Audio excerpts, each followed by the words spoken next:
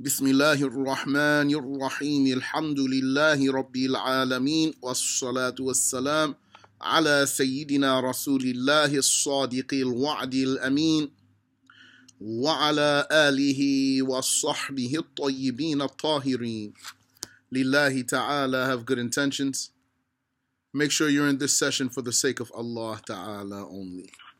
Know that the Muslims at the time of the Prophet wasallam and after his death were all upon one way. There was no obvious difference among them, nothing apparent. And whoever was amongst those companions, among those who differed with them and were hypocrites, that is, whoever was physically mingling among them and showing themselves to be Muslims, but truly they weren't Muslims and they were actually hypocrites who were pretending to be Muslims, they were unable to openly show what they had hidden in themselves. That is, they weren't able to openly fight Islam and they weren't able to debate with the companions openly. The first difference that appeared among the Muslims was their differing about the death of the Messenger of Allah sallallahu alaihi wasallam. To the extent that some said he did not die. However, he was raised up like Jesus, the son of Mary, was raised up. And this difference among them was removed, was eradicated by the blessings of Abu Bakr as-Siddiq. When he ascended the mimbar, the pulpit, and he delivered a speech and he recited to them the saying of Allah, إِنَّكَ مَيِّتٌ وَإِنَّهُمْ مَيِّتُونَ If you translate the ayah literally, it would say, O Muhammad, you are dead and they are dead. And of course, the Prophet والسلام, was alive at the time he received this verse of the Quran and it means you shall die, and they shall die. Then Abu Bakr, he said, as famously reported about him, من كان يعبد محمدا فإن محمدا قد مات. Whoever used to worship Muhammad, Muhammad has died. ومن كان يعبد رب محمد فإنه حي لا يموت. And whoever worships the Lord of Muhammad, he is the one who is alive and does not die. And we learned that in reference to this hadith, the Wahhabis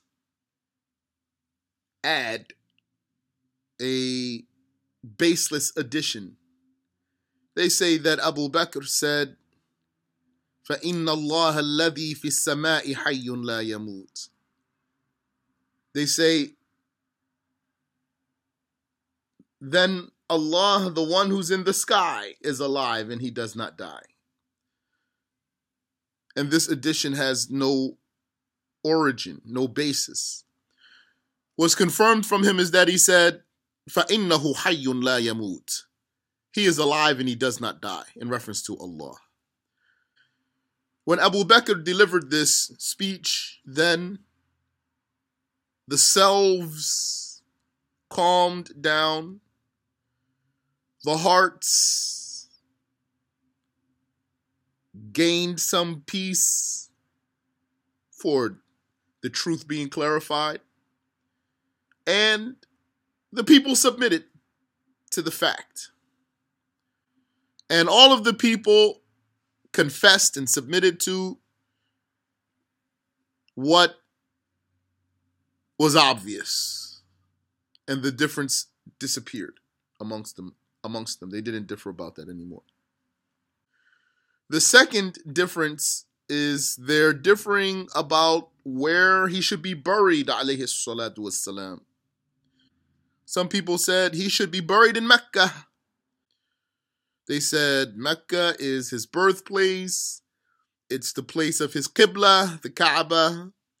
It is the place of the rituals of the Hajj.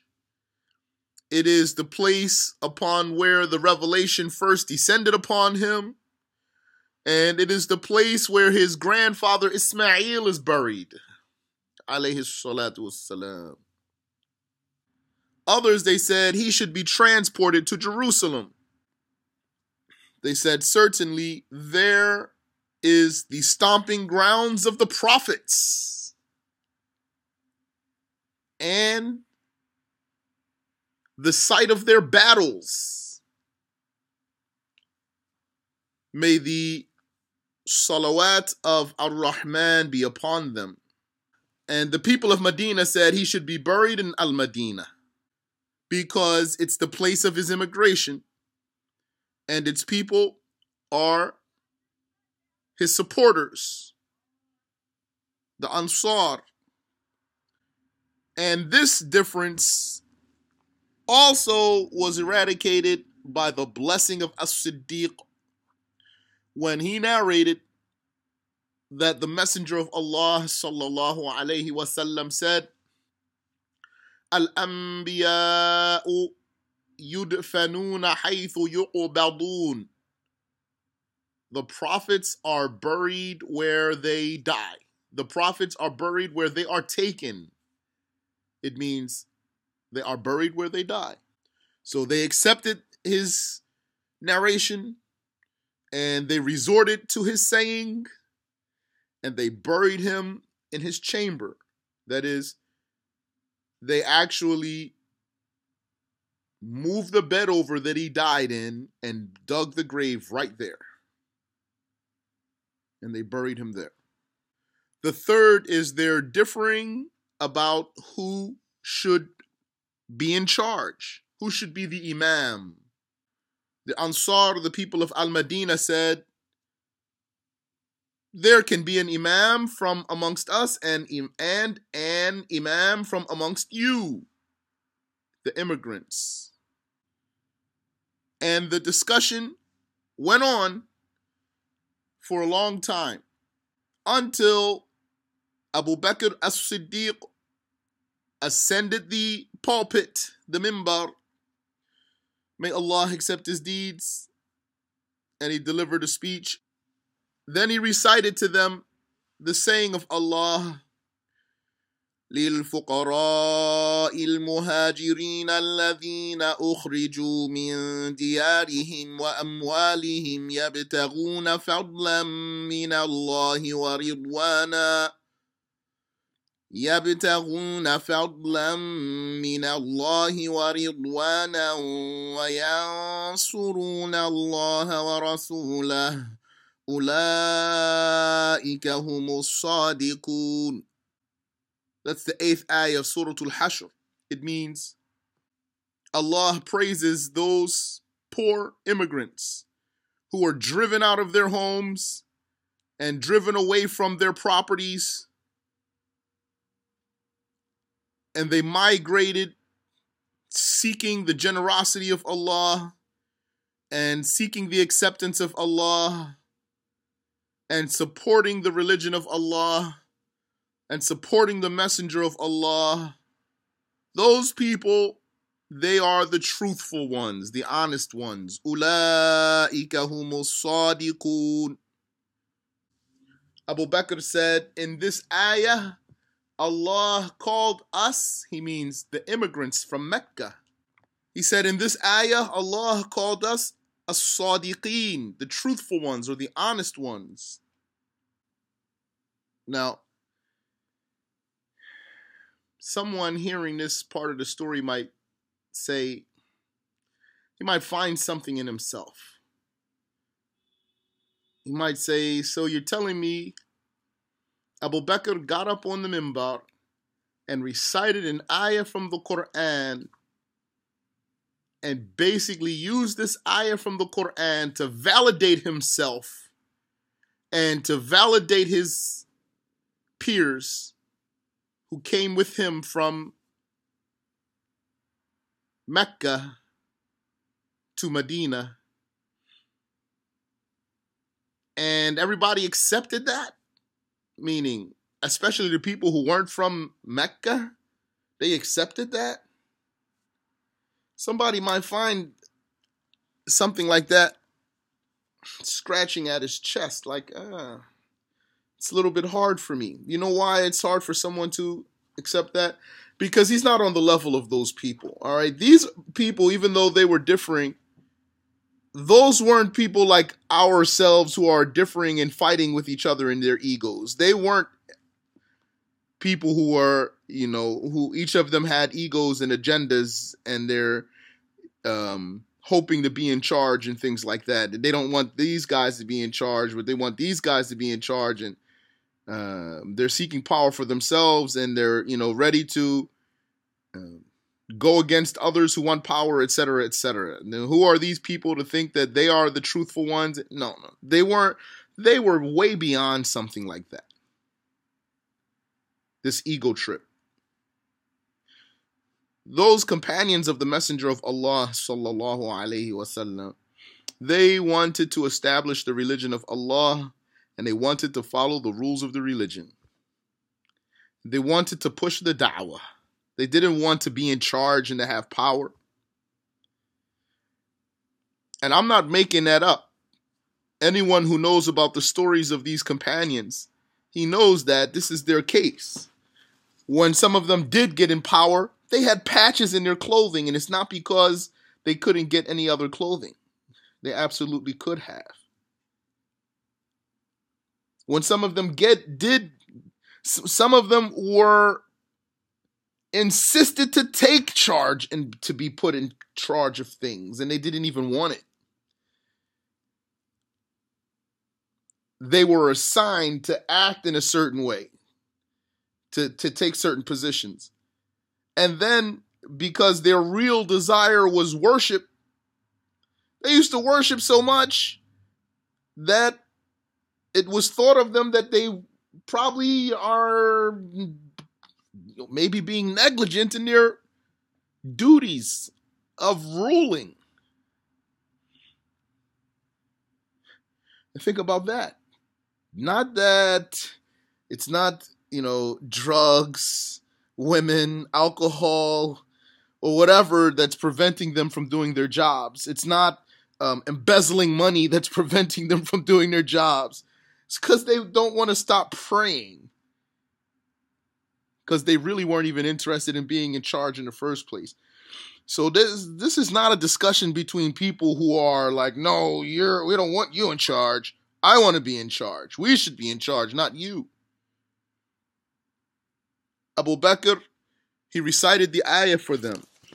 And among those people of, of Medina were scholars and very pious people. So it's not like Abu Bakr is just reciting an ayah that they don't know and they don't understand.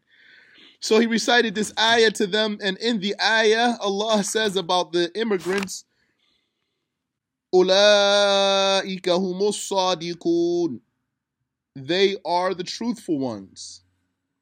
Abu Bakr said, قال فسمانا الصادقين. In his speech, he said to the people, in this ayah, Allah called us, the immigrants, truthful, honest.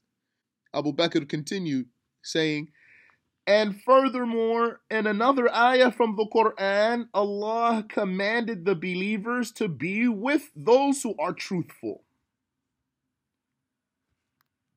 To stand with, to be with, to be in compliance with those who are truthful. And then he narrated for them that the Prophet wasallam said, Al-a'immatu min Quraysh. The Imams should be from the tribe of Quraysh. Yeah, it is possible for the caliph or the Muslim ruler to be from other than the tribe of Quraysh, but now we're not going to discuss the rules of um, caliphate and the rules of leadership, etc. So they believed him in his narration, and they submitted to the judgment that he presented to them, and they all agreed to what he said. And so this difference also vanished because of the blessings of Abu Bakr as Siddiq. Then, after him, after Abu Bakr, there did eventually appear the dissension of the of some of the Khawarij people where they said that the caliph doesn't have to be from Quraysh. They differed with this judgment later. The Khawarij didn't exist at the time of Abu Bakr. It didn't exist at the time of Omar even. So later on, this some people came back and rehashed the issue. Difference in the religion will not be dangerous unless it is in the fundamentals of the religion. That is, in the matters of creed, in the in the convictions, the Muslim convictions. And in reference to the companions, this did not occur. There was no difference among the companions in the essentials of the belief. Now, if you want to talk about the companions having a difference among them in belief or not, if you want to give a good, precise statement, say there was no difference among them in the essentials or fundamentals of the belief. And don't say there was no difference among them in the belief at all in any way whatsoever. Yani, don't say there's no difference among them in belief like that. Now, if it were said, like if some of our teachers said that, for example, then it would be a general statement.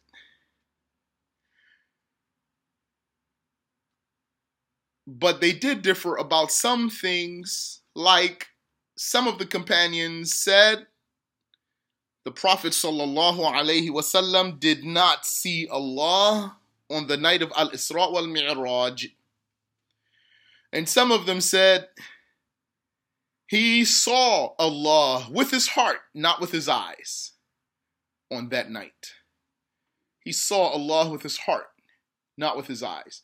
So some of them said he saw Allah with his heart. That means literally, Allah created in his heart the power of sight.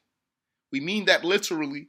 He literally saw Allah, but not with his eyes, with his heart. That's what some of the companions said. And some said he did not see his Lord on that night.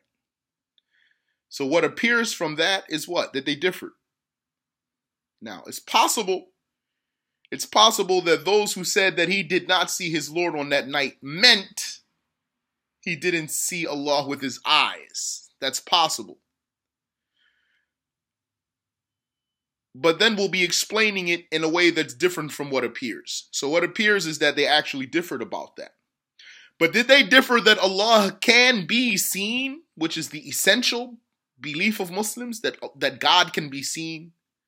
And that he will be seen in the afterlife by the believers? They didn't. So the actual fundamental belief, the companions didn't disagree about that. The detail, with his eyes, uh, I mean, with his heart or not, they differed about that. And it's even possible that they didn't really differ, but the words make it look like they did.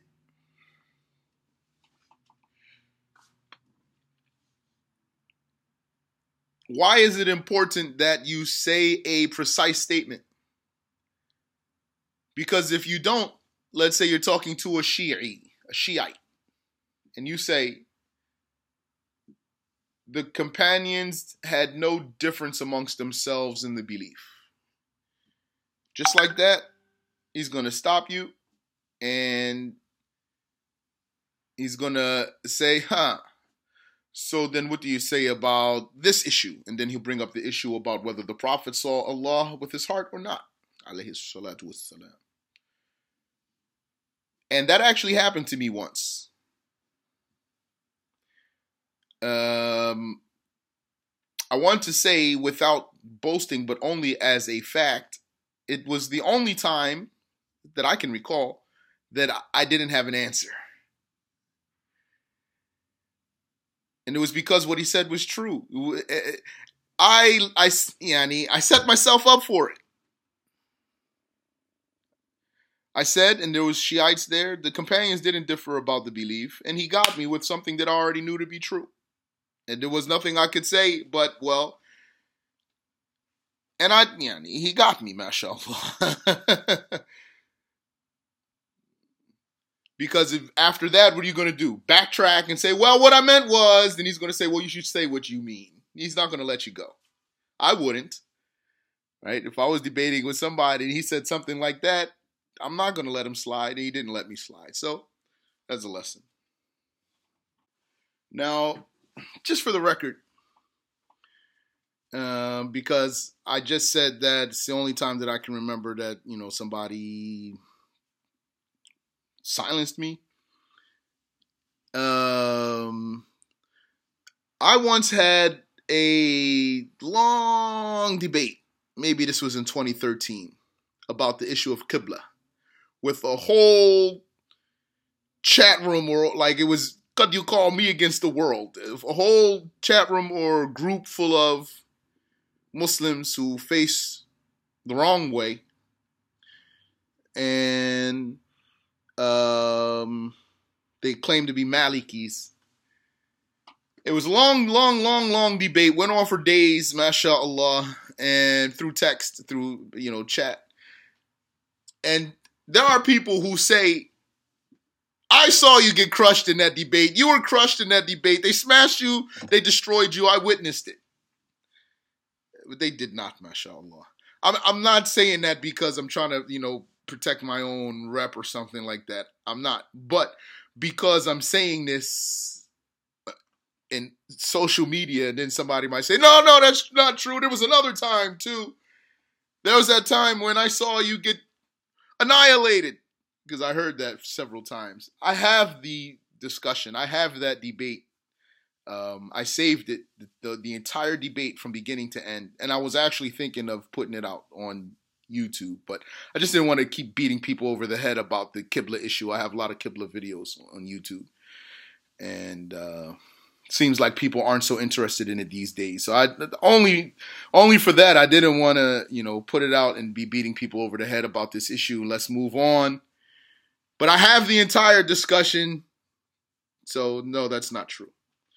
Anyway, the difference in opinion will only be dangerous when that occurs in the fundamentals of the religion.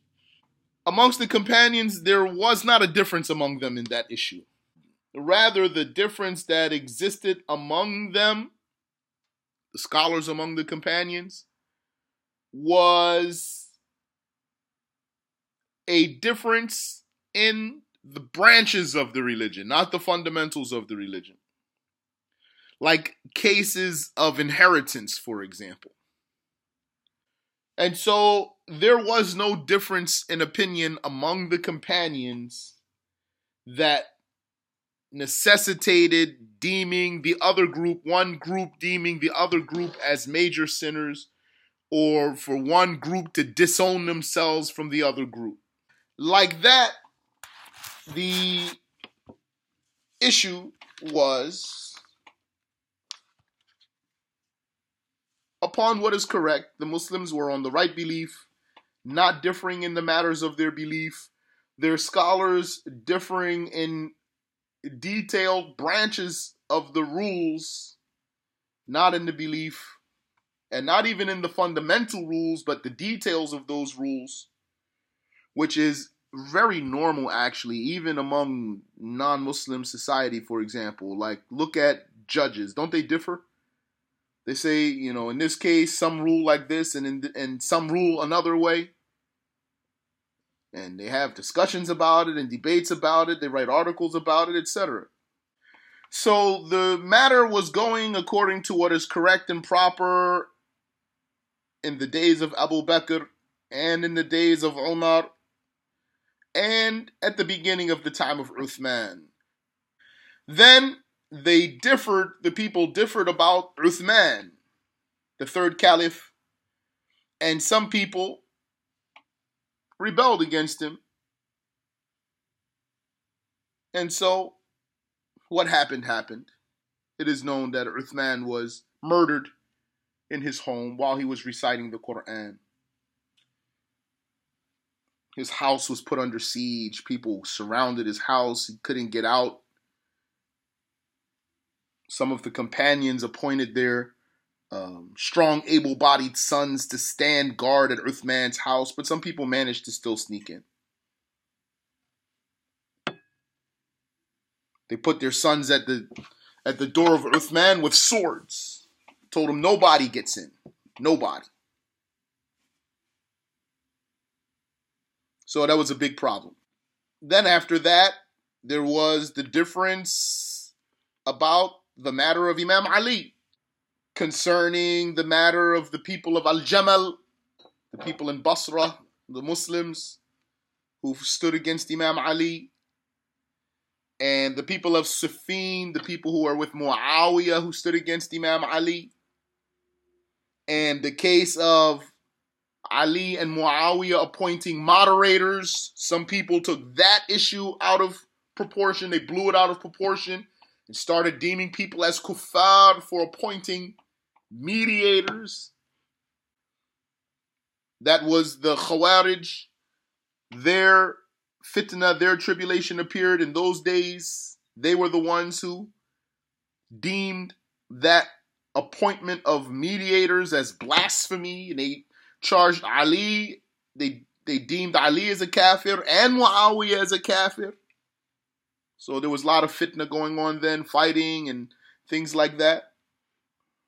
And also during the time of Imam Ali, there occurred the dissension of the Saba'iyah, who are the origin of the Shiite faction. What we learned is that the Saba'iyah are not truly Shiites but they are the source of the Shiite faction. It might appear in some books that the Saba'iyah are Shiites or the first of the Shiites. And what we learned is that they're not really Shiites, but the Shiites came out of that. And what is that? The Saba'iyah, they followed a man named Abdullah ibn Saba, who was a Jew who claimed to have embraced Islam. And then he came out with a cult of people who worshiped Imam Ali. So they worshiped Ali, and they are the ones who said Ali is God of the creation. He is the God of creation. Until Imam Ali, he burned some of them. He burned a group of them. He burned them alive. After that, the rest of the groups of Shiites started springing up over time, not all at the same time, of course.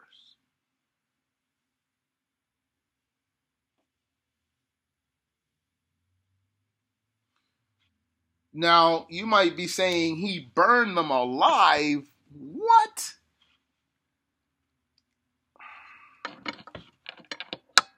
This was Imam Ali's ijtihad that he saw that he could burn them alive. Ibn Abbas said, Had I been the caliph, I would have done differently. I wouldn't have done that. But that's what he did. MashaAllah can. Um, and by doing that, he definitely scared them and they stopped like no one would after that, no one who was left among them would openly say that he was a worshiper of Ali or that Ali was God or something like that. And in the days of the last of the companions, before the era of the companions had completely gone, so the last of them, those were the ones who were young when the Messenger of Allah passed away, alayhi salatu wassalam. They might have been teenagers or children when the Messenger of Allah passed away, alayhi salatu wassalam, like Ibn Abbas. If I'm not mistaken, he was 13 when the Prophet passed, alayhi salatu wassalam. So by the time those were old men, so the last of the companions, that's when the deniers of Qadr appeared. Those people used to indulge in talking about destiny in the forbidden way and talking about the human being's ability. And what they mean was that he can create his own deeds. Like Ma'bad al Juhani and Ghailan al Dimashqi and Ja'ad ibn Dirham and whoever was still alive among the companions, when it reached them that there were people who talked about destiny in the forbidden way, they denounced them. Like Abdullah ibn Umar and Abdullah ibn Abbas and Abdullah ibn Abi Awfa and Jabir and Anas and Abu Hurairah and Uqbah ibn Amir al-Juhani and their peers and they had advised their successors, those who will come after them, to not give salam to such people, those deniers of destiny, nor to visit them when they are sick. وَلَا يُصَلُّوا عَلَيْهِمْ إِذَا مَاتُوا Nor to pray for them if they die. Then, after that, there at yani in the time of Al Hasan al Basri, so this is the time of the followers of the companions now. There occurred in the city of Al Basra the dissension of the man named Wasil ibn Ata al Ghazal. He's the first Mu'tazili. In the matter of Al Qadr, and in their saying that there's a station between the two stations. And they mean there's a status between being a believer and being a non believer. They said the one who commits a major sin is neither a believer nor a non believer. They said the major sin will kick you out of belief and not insert you into disbelief. That's a strange belief of theirs. And a man named Amr ibn Ubaid agreed with Wasil ibn Ata. He agreed with him in what heresies and innovations he invented. So Al Hasan al Basri, he kicked them out of his circle, kicked them out of his session. And they shunned those, they shunned that man and his followers so that they sat at another part of the masjid. They were outcasts. فَسُمُّوا مُعْتَزِلَةً لِاعْتِزَالِهِمْ مَجَالِسَ الْمُسْلِمِينَ So they were called Mu'tazila, the outcasts, because they were outcasted from the sessions of the Muslims. And they were outcasted because of their saying that there's a station between the two stations. And they're claiming that the major sinner is neither a believer nor a disbeliever. And that the major sinners exited faith but did not reach the level of blasphemy. And that they said that they will be in hell if they die without repentance forever and ever with the kuffar. And they added on top of that that it's not permissible for Allah to forgive them, and that's blasphemy. And that had they been forgiven, then that would be a lack of wisdom. So when they showed up with these sayings, the Muslims shunned them and abandoned them and forsook them. Like what their predecessors among the companions had advised them to do. Then, in the days of the Caliph Al Ma'mun, the Najariya appeared. The dissension of the Najariya. They were a group who agreed with Ahlul Sunnah in some issues and agreed with the Mu'tazila in some issues. And a group of them settled in the town of Rayy and the surrounding areas. Then, also in the days of Al Ma'mun, there appeared the Batiniya. Those are the people of the hidden inward meanings, secret meanings.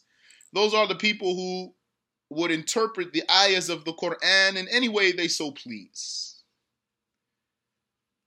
In our times, we have seen people who are Batiniya. Batin means inside or hidden. The Batiniya are the people who claim to believe in the hidden meanings of the verses of the Quran. They say there's apparent meanings, outward meanings for the normal people who are the donkeys. But there are, for the special people, hidden meanings that don't appear to the donkeys. And then they go and interpret the verses of the Quran in any way they so please. So they would say, for example, that the rivers of paradise mean wisdom, and that salah means following the imam, and that anything they want. There's no rule after that once the person claims that there's such hidden meanings, there becomes no rule um, for explaining the Quran.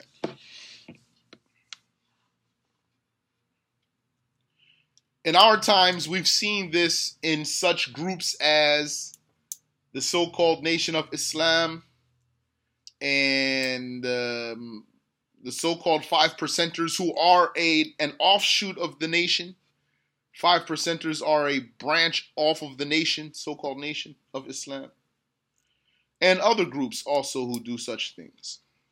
For example, one of those people would say to a Muslim, Do you know who Muhammad is? That Muslim would say, Yes, Muhammad is the messenger of Allah sallallahu alaihi wasallam. He is Muhammad, the son of Abdullah, the Arabian prophet they would say, La, that's not Muhammad. Then that Muslim would say, What? A'udhu billah. What are you talking about? They would say, You are Muhammad, and I am Muhammad. Because Muhammad is just a name with a secret. Don't you see that the meme, the first letter of Muhammad, is the head, and the ha, the second letter of Muhammad, is the body, and the meme, the third letter of Muhammad is the navel. And the dal, the last letter in Muhammad, is the feet. And then they would say to him, Do you know who's Ali? He said, Yes, Ali. Everybody knows Ali, Ali ibn Abi Talib. He would say, La, that's not Ali. The Muslim would say, Then who's Ali? They would say, You are Ali, and I am Ali, and we are all Ali because Ali is just a name with a secret. Don't you see that the Ain, the first letter in Ali, is the eye? And the Lam, the second letter in Ali, is the spine? And the Ya, the third letter in the name Ali, is the feet? Stuff like that. And you know what the five percenters used to say arm, leg, leg, arm, head, and all that stuff. Same stuff. Yeah, I need the same way. It's the same way. They're not all saying the same thing though.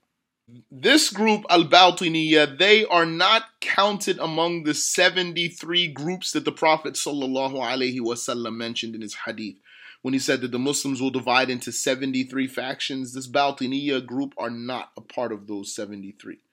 Also, the Saba'iyya that we mentioned uh, uh, just shortly um, a moment ago, they are not from those 73 groups. Those Batiniya were really Majus people. They were on the religion of the Majus. They used to pretend to be Muslims. They could not show their religion outwardly in the society that they were living in. They were people who were descendant from um, the Persian fire worshippers. So they had an inclination to their ancestral religion. For a lot of people, that's not something hard to understand. Like black Americans, there's a lot of We know a lot of black people are inclined towards some Africanism or African religions or even paganism because it's African, they say. You know, African paganism because they want to go back to their roots. So they were like that. They were people who were descended from uh, Persian fire worshippers. They had inclination to their ancestral religion. They weren't able to just practice their religion openly in the society that they lived in. So they basically agreed amongst themselves. They made code words. They used Islamic words, Muslim words for things in their religion. So they were like a secret group. And they had a specific goal of misguiding Muslims also. Not just they wanted to practice their religion covertly, they intended and they did they intended to misguide people and take them away from Islam. Then there appeared a little bit later now around 250 the year 250 after the hijrah close to the end of the salaf there appeared the um, dissension of the Karramiyya faction. Those were an early carnation of Wahhabis in their belief that Allah is above the throne.